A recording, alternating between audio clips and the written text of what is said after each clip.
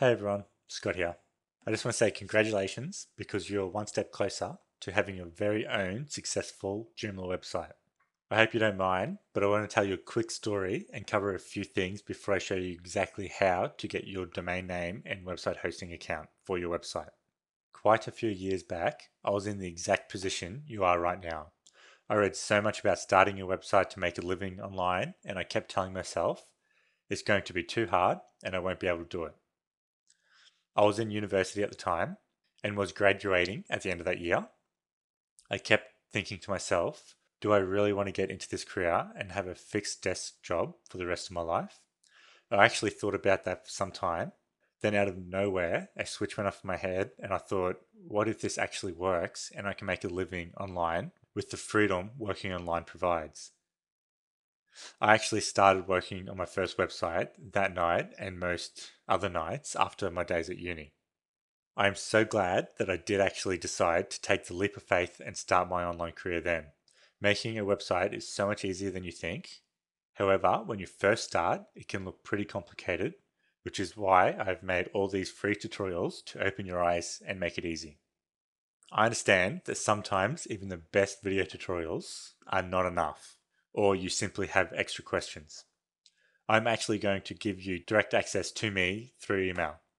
This isn't going to be available for everyone though. I'm a busy man and I can only answer so many emails. So, this bonus of being able to personally email me with any questions or get help with anything is only going to be available to people that sign up to HostGator through my affiliate link, which is basically any link on this page. You can see there's my affiliate link there. This image here is my affiliate link for HostGator website. To get my personal contact bonus and to have direct access to me, you need to sign up to HostGator using one of my links or my coupon code, which I offer, which is the website, te- website teacher. I'll show you exactly where to enter this code later in this video. And it actually also saves you money. Looking around the internet, I found courses and training information for Joomla costing up to $100 for content that's probably not even as good as what I offer for free. Because I believe you're like me, and if you are like me, you prefer to watch tutorials in video format that show you exactly how to do everything. That is why I have put so much effort into making all these tutorials for you that I want you to use once you have signed up to HostGator. The video tutorials are very easy to follow, understand, and will have you creating your website in no time. The reason why all my tutorials and information on this website are free and why I also offer to personally help you is not only because I'm a nice guy, which I am, it's also because I receive a commission on every single sign up I send HostGator. But don't worry because this has no effect on you whatsoever. Well, actually, I set up a coupon code so that you can save money when signing up. I'll show you where to use that coupon code later in this video. So to get your website, the first thing you have to do is click one of my affiliate links if you're watching this video on YouTube, my affiliate link will be in the description. But I'm just going to click this image link here, which says affiliate link HostGator website, which will be located under this video on my page once I upload it. So I'm just going to click that. Clicking my affiliate link should have loaded a HostGator's page that looks like this. You can see this is advertised as Joomla hosting. Technically, it is a normal website hosting, but they are emphasizing the ability to run Joomla on this hosting account, which is what we want. You can read through this page if you want, but the main parts we are concerned with are the plans you'll see down here. The hatchling plan, baby plan, and business plan.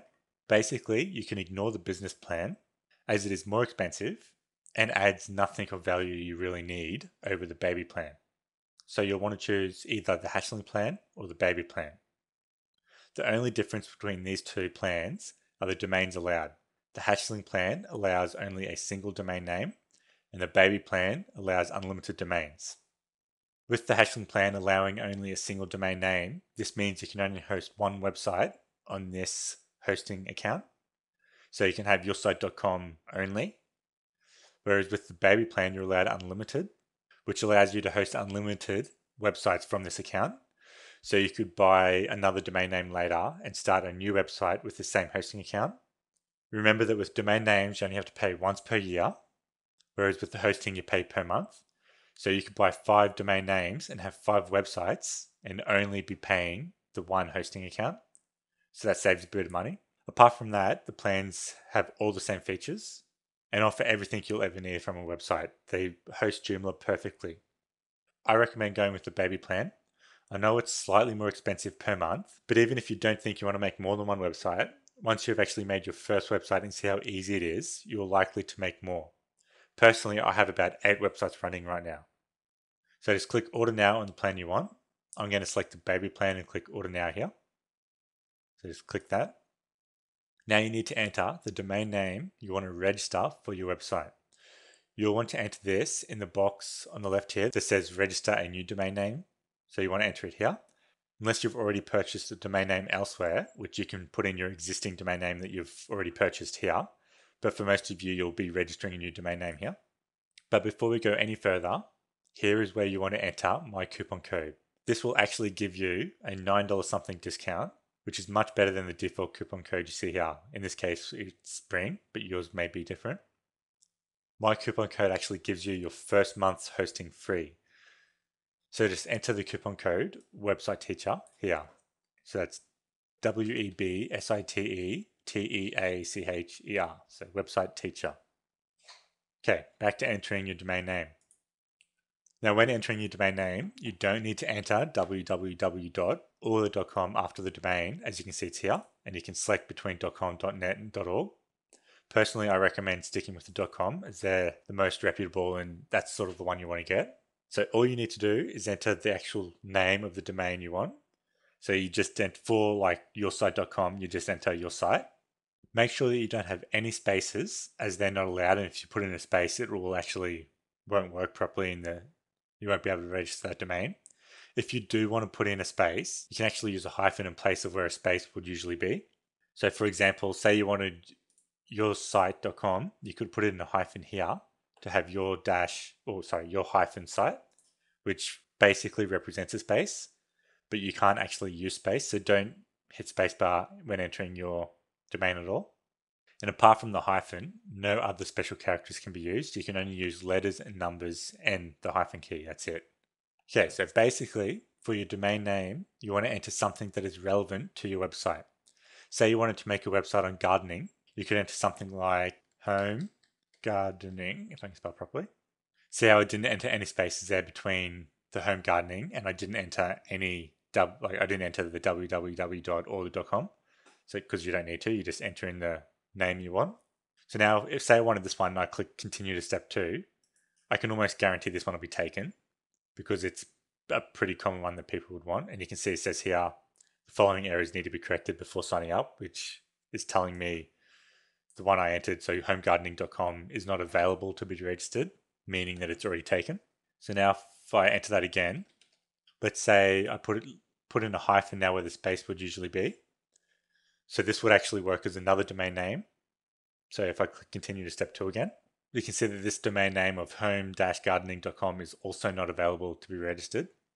And most common or most nice short domain names that have two words like this, like home gardening, will usually be taken. And you're going to have to play around with your words a bit to get one that is available. So let's try something else. I could try entering something like home dash gardening dash with dash Scott.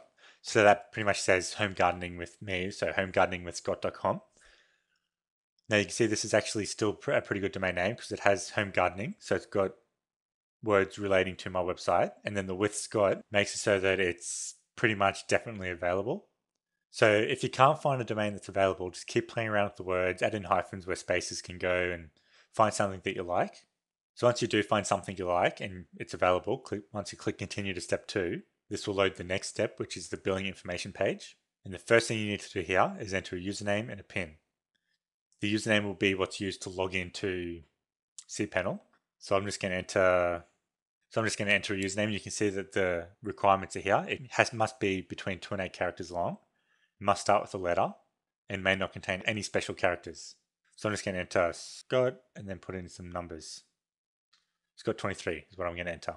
So you can see that's all ticked, meaning that it's correct and that's going to work.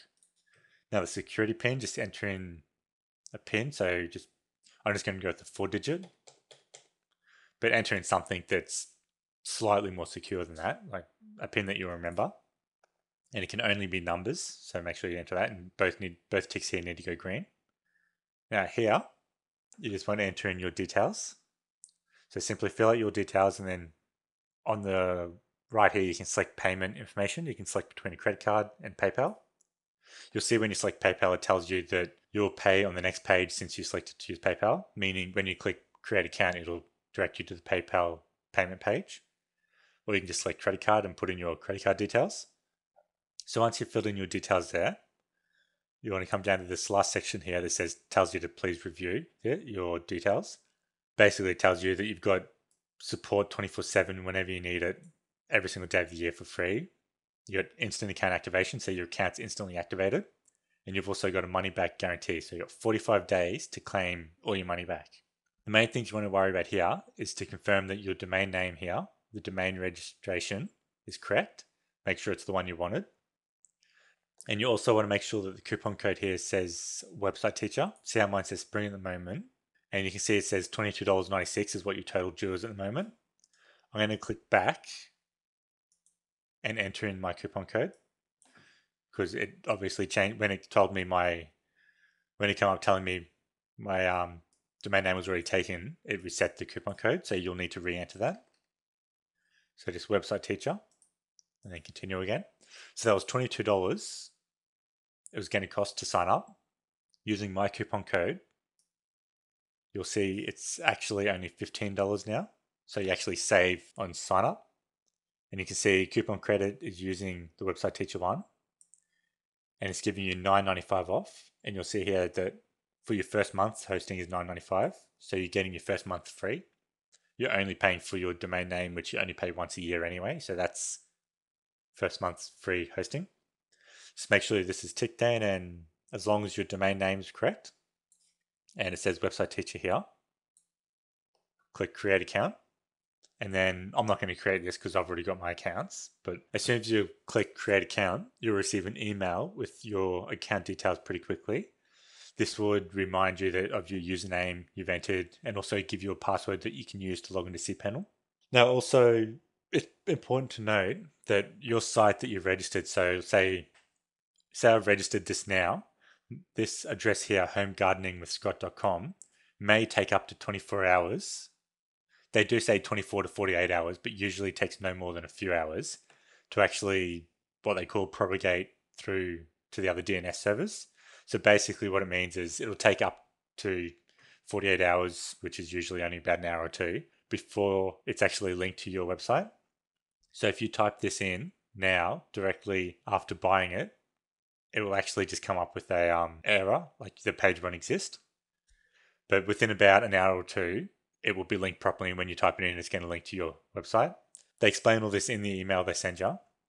And they also give you a direct link to your website hosting account so you can still use it in the hour or two you're waiting for the um, domain name to link to your account properly. So basically, once you've clicked create account, you have your website. And once you have your website, you can directly contact me at any time by using this link here, this direct access to me link. And I usually reply pretty quickly to the um, emails I receive. And because you've signed up with HostGator, since your new website hosting account uses cPanel, you'll be able to use all my tutorials about cPanel, and you'll find those under creating and cPanel here.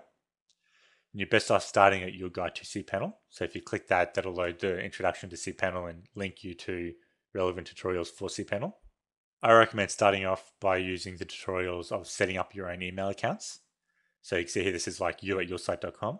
So that's a unique email account for your website for you to use. I'm just going to go back now. And basically you can move straight on to installing Joomla as soon as you have your website. You can find the tutorials for Joomla on the left here and installing Joomla is just there. Once you've installed it, there's how to log into Joomla, managing new users if you want to have multiple people be able to work on your website making Joomla more search engine friendly and just all the other tutorials and then publishing content. So structuring your content, your pages and that, creating new pages, all the tutorials you need will be on the left there.